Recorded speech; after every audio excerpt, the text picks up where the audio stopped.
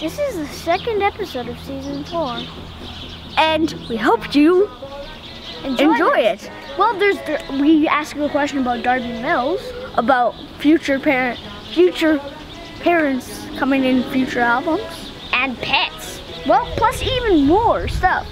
And def, enjoy definitely never enough to ever from B Sharp Music in Regina, Saskatchewan.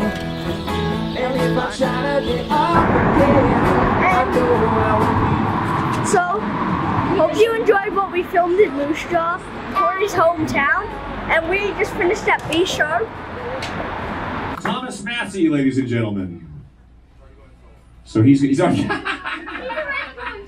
he's already gone solo. What is your history with this store, Cory and Todd? Uh, history with this store? Uh, well, when we were young, we would come in this store, loiter around until we were asked to leave, and uh, just drool over guitars and, and, and look at guitars. Did you actually? Uh, Uh, I was always here. he was always here. He was, They built the store around him. He was standing there and they built the store. Oh, Craig's been here since I. yeah, because Come here and- Craig ran this place since '86. Am I right on that? Oh. Wow, so that was, I was born three years later. No, uh, so yeah, as long as I've been playing music uh, in, uh, uh, professionally, that's probably around when we started to do it kind of more professionally. Yep. But, uh, yeah, but prior to the, the previous store, we were always around in this building uh, looking at guitars and uh, wanting to play music. So that's, you know, that's the very Canadian, uh, Saskatchewan thing to do, go look at guitars. Please continue to, to support your local music stores. well. Support local music stores, please. What is it like to work with Darby Mills? It's really easy to work with Darby Mills because we were in Los Angeles and she was in Vancouver. we talked about this yesterday, but we just pretend. Shh, they can Why, why are you asking about Darby Mills? Maybe we should tell them. So we recorded a song called "Don't It Make You Feel Like." Dan- Don't It Make You Feel is the name of the song, but "Don't It Make You Feel Like Dancing" is the song that you probably know it. It was a big hit in Canada, and so we recorded a version of that song. And then Darby, uh, Cory reached out to Darby. And sure enough, Darby was like, "Yeah, I'd love to sing on it." So she sings a, a portion of the song, and it's it's pretty exciting for us to have an actual guest on the song. The only other guest on the on the album is here tonight, isn't here he? tonight. He's here today. He's right there. That- That's My dad. that's Cory Churko's dad, Roman Churko back there. Oh, he, he left. Okay. Oh. He knew that was coming, so he was like, I'm out of here. Anyway, he played. He actually played on the same song. He played the he played the guitar solo with Cory on uh, on Don't Make You Feel. There you go. Yeah, take credit. That's what that's what, that's that's showbiz 101. Just take credit for everything. That's what I've been doing. Here's answer some more of these questions I wrote. Yeah. See, that's how it's done. What is it like to put, have your dad play with one of your songs? Is that a segue or what? I, I segue for him. That's professionalism. Showbiz. What's your What's it like to Dad's have? right here. I know that's random, right? Yeah. So what's it like to have your dad play on the record? Is that what you're saying? So No, Or what? what I'm, no, I, I, that was it. I just okay, good. That's good. Try. Relax. so it was awesome. so I love it. I love it so much. I was recording the guitar solo for "Don't It Make You Feel at Home" in my studio in LA. and My dad just happened to be there on vacation, and I'm like, hey, "You should totally play harmony guitar on this song." It's not an easy harmony to play too. It's really Totally. weird. Yeah. And so we went in the studio and knocked it out in half an hour or so, and it was really cool. So both guests appear on that song, Darby Mills and Yeah. Roman Churko. Wow. That's I mean, my cool. dad taught me almost everything I know about music, so it was really cool for him to, to be a guest. That's great. you only gave me like a couple. We're, we're gonna go outside and fight about it later. It's gonna be great. Okay, good. Saskatchewan style. Go ahead, Robert. Are there any upcoming? Are are they? Are there any other pa- parents upcoming on any two songs? Oh God, I hope not. Gene Kerns is going to be yelling at me on the next record. And my father plays guitar too. Maybe someday I'll get him to play something. That'd be really fun. Um, my, your are your parents musical? Yeah. Yeah, they are, aren't they? Unless you want to put accordion on.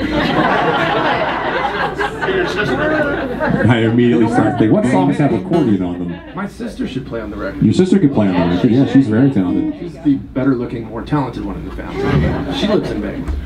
You notice how no one argued with you? I'm the first one to say it.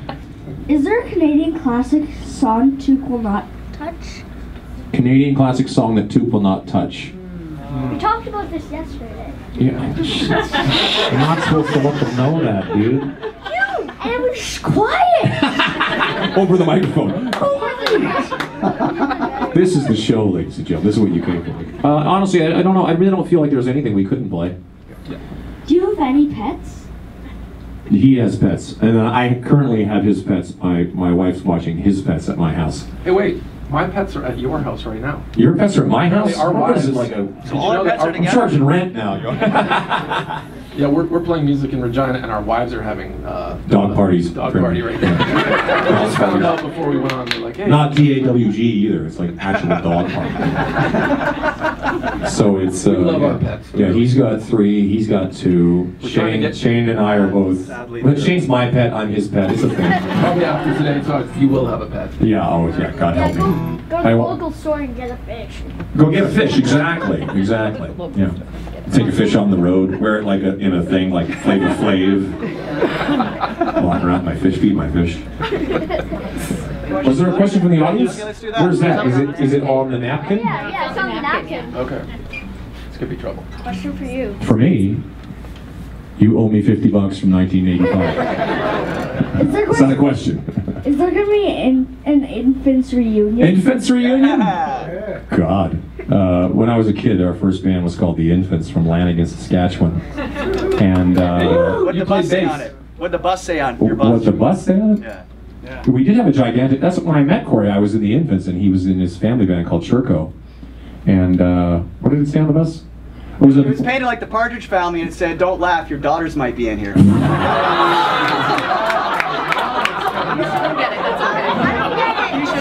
You shouldn't get that. But the funny thing is this: it was. It started off. We would get. We would get uh, like in trouble all the time. You weren't allowed to actually have a school bus on the road. So they said, it, you know, I can't remember what the law was, but saying, okay, fine. So we went back and we painted it a primer gray, and then just as we kind of were going on the road, it would get tagged, like not in like Inglewood, California, but in like you know. Kamsack, Saskatchewan, and Kipling, Saskatchewan, and all these places we play, people would spray th- spray paint things on it. You guys spray painted "See you at the Junos" on the back of the bus. I don't know if you remember And I did. I saw you there. And you did. And we saw each other at the Junos. It was a it was a premonition of sorts. But uh, somebody spray painted on the side of the bus. Don't laugh because your dog's fine. So, What inspired you to bring back the classics? Bring back the classics. You guys, I think. I said before, like generationally and geographically, because we, the fact that people from Japan or South America can, can enjoy these songs that are largely not necessarily lost, but it isn't reach as far. Um, is part of it, and the younger generation being able to hear these songs and enjoy them. That's uh, what it meant to me. Last question, just randomly pulled from the thing. Oh, that's part of the fun. Okay, I was just, I was just. I can't believe your preparation instruments- skills, because you, you guys should get graded for this. What have you learned with your other bands that have helped with Toque? Um, That's it. That's a good question. Go ahead, answer. it. So back in the day, we used to be able to play six nights a week in bars. You, a lot of you guys probably remember those days. And then on Saturday, you would play like twice, twice because you do a matinee or a jam session. So Specifically in the country world, you guys had to do jam sessions. totally, totally. They were called jam sessions on Saturday? In, Ontario, they were called matinees. Here, they're called yeah. jam sessions. Yeah. Oh, God. And so we learned a lot of different songs. We were constantly playing cover tunes and learning our craft of how to emulate guitar tones, how to emulate effects, uh, how to sing in tune, how to sing harmony. So when we How to actually be in- comfortable playing in front of people. is a big totally. of So when I got to play with Shania Twain, it was just like another glorified cover gig because now I'm playing her songs. But I have to learn how to play her fiddle parts and, and you know sing her parts. So all that stuff we did as kids, playing in, in the bars and whatnot, helped prepare us. Would you say that is correct? Well, I always sort of point out that the Beatles went to Hamburg before they became famous, and they played like six nights a week, and they played like six hours a night, and they played all Chuck covers. Berry and Little Richard, and they played all these songs just to entertain people. But they became so rock solid as players and rock solid, and just really comfortable being on stage because that's most of the game for us. Is that when a lot of guys were just starting to kind of put bands together, we'd already been on stage for several years, all of us, I think, in this band. So by the time you get on stage, it's like totally normal to play in front of people. It's normal to play on stage. It's not normal to play in the daytime to people in a store, but but still, it's kind of like you know that that's a big part of the thing is Totally. just becoming uh, really good at your instrument. Thank you, buddy. Wait, I have one more. Yeah. I have Well, one he's more got a question, question. and then we'll go to the, to the crowd. Where's your security guard? Where's my insecurity guard? Right there. Right there. Not doing his job. Oh, there he is. Right there. He, that's Lee. He's our insecurity guard. It's different than a security guard, which s- s- you know sort of takes care. of He actually is insecurity guard. He takes care of me and tells me, "You get that jacket, looks nice," stuff like that, and I feel really good about myself. Everybody should get one. It's about fifty grand a month. It's really expensive, but it's every worth every penny. if you ask me. So that's a good question. Those are great questions. The Massey twins, ladies Yeah. and gentlemen. That's Thanks, guys. fantastic. Thank you, Thomas. Can we Sorry. keep those questions? Because I want to, I want to, or do you want to take those questions? Because I want to, Part of their television archive. uh, I, yeah, you, maybe you should hold on to them. But I, can I take one? Just gonna want to make sure that I, I remember that I had this experience. We hope you enjoyed our conversations with Toque. I know, I want to say thank you, Toque! They're at Chick-fil-A, so yeah, we're trying to yell over there. And well, like, subscribe, buy, buy our merch, follow us on show, follow us on social media, and I hope you enjoyed Never Enough Toque. Ever. definitely never enough. Ever. Well, well, if you didn't watch Never Enough Ever Toque Ever, wait, watch it. Well, I'm sorry. I just have to say the first part. Thank you, too. Thanks stay alive.